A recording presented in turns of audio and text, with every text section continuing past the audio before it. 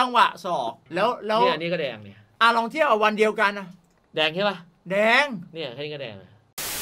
สิบเอ็ดตัวจริงดีมากบุรีรัมย์เออต้องยอมรับว่าโอเคด้วยมาตรฐานด้วยตัวผู้เล่นด้วยอะไรก็ตามแม้กระทั่งโจนาธานโบนกิอืมแต่พี่รู้สึกว่าปัญหาหนึ่งเนี่ย ที่คืออะไรควรจะต้องพูดถึงของบุรีรัมย์มากๆเลยคือ การควบคุมอารมณ์อะกับการอยู่ในเกมของนักเตะเนี่ยทำไมมันอืมนี่ไม่ใช่ครั้งแรกนะอืมนี่ที่พูดเนี่ยมันเกิดขึ้นให้เห็นหลายต่อหลายครั้ง pre-season ปีที่แล้ว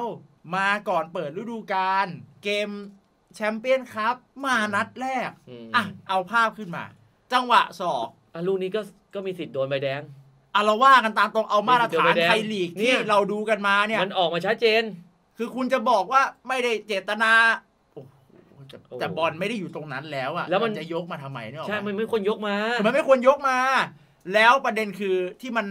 ที่มันไอ้นี่ที่สุดคือพอมันถูกตั้ง standard ว่ามันคือใบเหลืองเนี่ยอืมันเลยถูกตั้งคำถามไงอืมอืมแต่ทีนี้แยกเป็นสองเรื่องนะอืมเอาพูดถึงเรื่องของการการคุยจะโดนใบเหลืองใบแดงตรงนี้ก่อนอืมอืมต้องมองว่าก็มีไปต้องใบแดงเหรอ80%ต้องมีแปดอะสิบเปอร์เซ็นต์80%ต้องมีแดง เพราะว่ามันชัดเจนอะมันมันลงไปแล้วมันต้องปีที่แล้วเราดูมาทั้งปีแบบนี้คือแดงอะใช่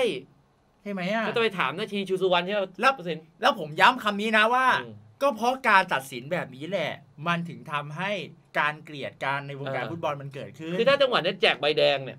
ก็ผมว่าสมควร ก็การแจกใบเหลืองของมึงเนี่ยทำให้ทีมทีมหนึ่งเนี่ย ก็กลายเป็นผู้ร้ายถูกไหมแล้วก็ทำให้แฟนบอลต้องมานั่งตีกันใช่ อะกูพูดจากใจนะสู้อืมมึงให้ใบแดงไปเถอะให้ไปเถตรงนี้อะยเอาความถูกต้องใช่ พี่โถนาทีชุสุวรรณเป่าจังหวะแบบนี้ทั้งปีที่แล้วว่า ใช่ก็รู้ว่าแดงเขาให้ ไม่ควรให้เป่าแล้วจริงๆนะนาทีชูสุวรรณเนี่ยพี่ก็เหมือนแอนโทนีเทเลอร์อะไรเฮียเออต่อจากกับเชลซีเนี่ยดันกันแล้วคือมันก็มีจังหวะพลาดตลอดอะ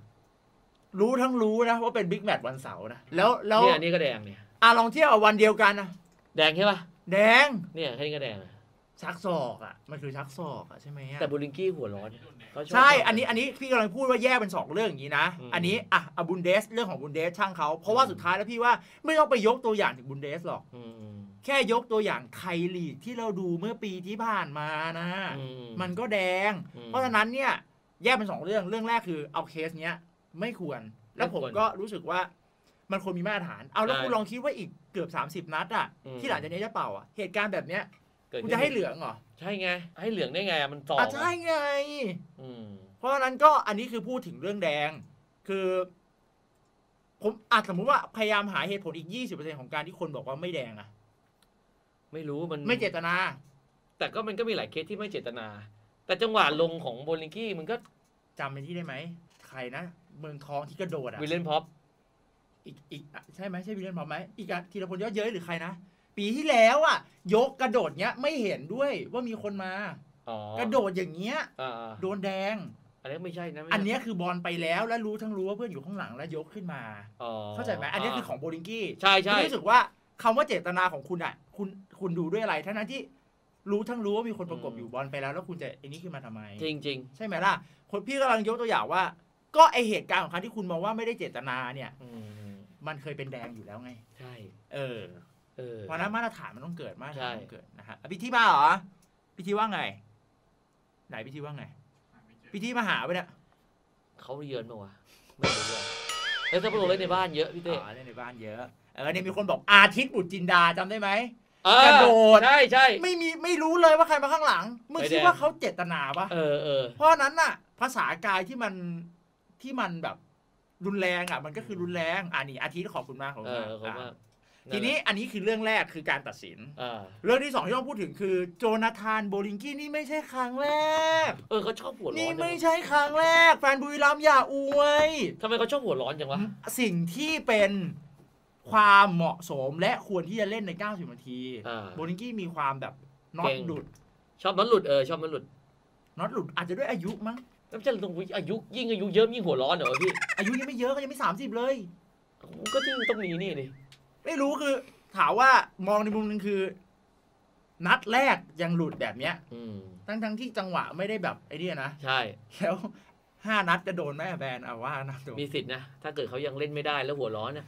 เออเออแต่บุรีรัมย์เนี่ย ผมว่าเขายังคงแข็งแกร่งแต่น่าเป็นห่วงคือสควอตผู้เล่นอะอืมเพราะว่าสควอตอะ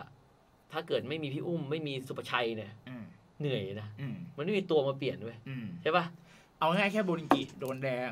คุณคิดว่าใครที่จะมาแทนแล้วให้มันใช่คุณภาพเทียบเท่าอาทิตย์เหรออาทิตย์คู่สุภาชัยอย่างเงี้ยเหรอยังดูมูย่าเหรอยังยังเออนั่นแหละเรื่องของสปอร์ต